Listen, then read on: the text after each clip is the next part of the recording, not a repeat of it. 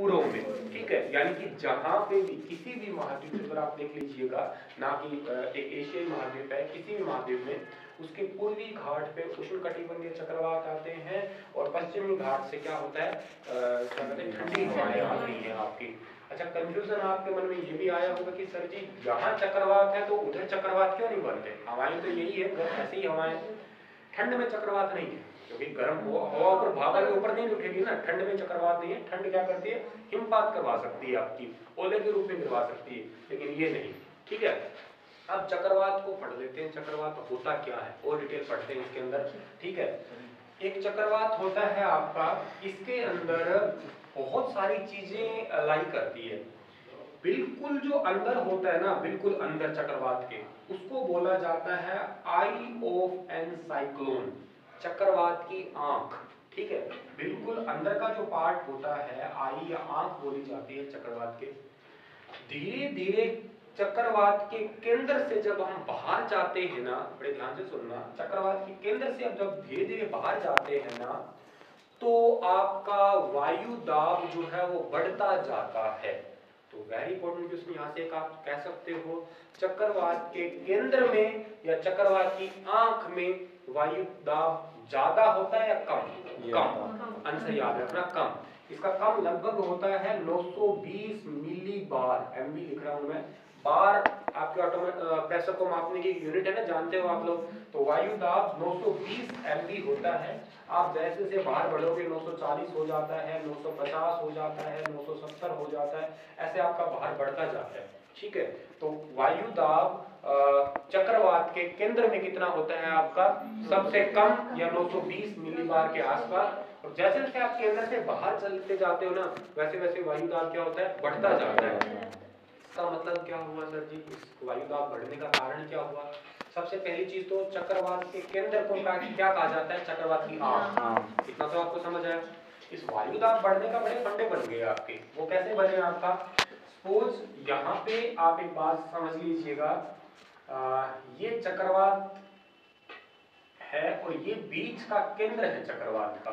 ये जो जगह है ना आपका, वो चक्रवात का केंद्र है। चक्रवात का केंद्र जो होता है, वहाँ पे लो प्रेशर होता है। वायु दाब बहुत ज़्यादा कम होता है। ये बाहर की जो हवाएँ होती है ना इधर उधर से घूम फिर के आती है, ठीक है, भाप बन के आती है।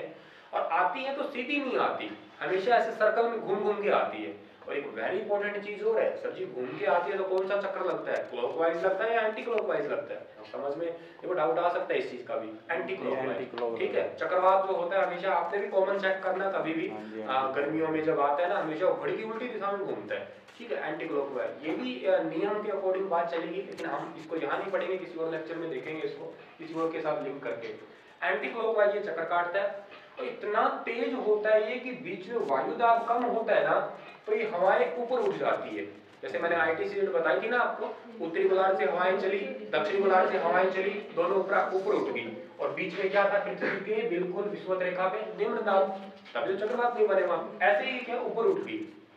ये जगह बिल्कुल खाली पड़ गई, बिल्कुल खाली पड़ गई। अब बहुत इंपॉर्टेंट है ये जगह अगर खाली पड़ गई तो इन चीज़ों को बोला जाता है चक्रवात की दीवार।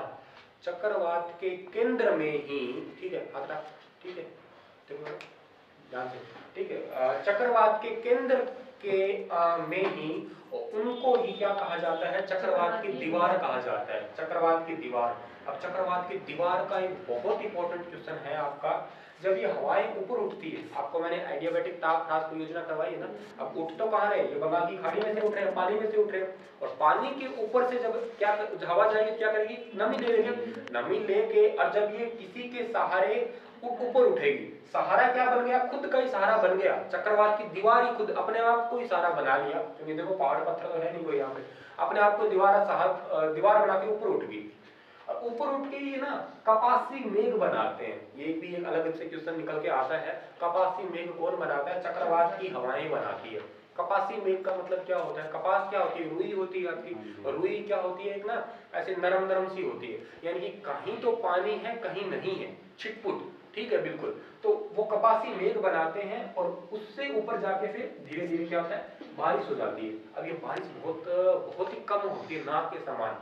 ये आप देखो, पश्चिम बंगाल की साइड जाओ, पश्चिम बंगाल में दुर्गा पूजा बहुत ज़्यादा होती है। होती है ना? ठीक है, कलकत्ता में काली माता की